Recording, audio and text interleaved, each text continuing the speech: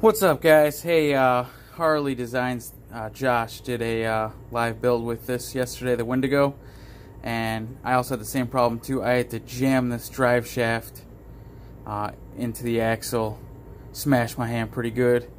So, you know, just uh, beware, it gets stuck in the steel axle tube. Uh, so I could have used a hammer, but I had to force it in and push it down. So that definitely got stuck on mine too. So just beware about that, guys. Be careful. I wasn't smashed my hand pretty good jamming this thing in there.